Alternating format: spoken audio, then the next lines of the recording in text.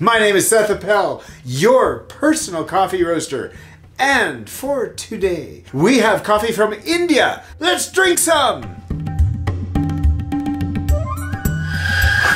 Oh, now that's that's like a one, two to the old olfactory. It's huge.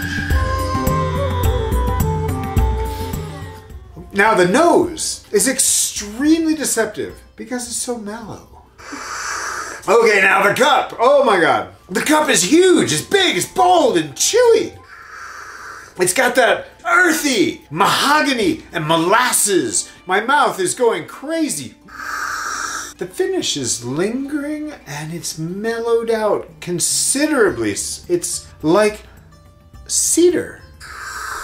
I'm happy with this. You guys are fabulous. I'll see you next week. I'm gonna sit down and uh, drink some coffee.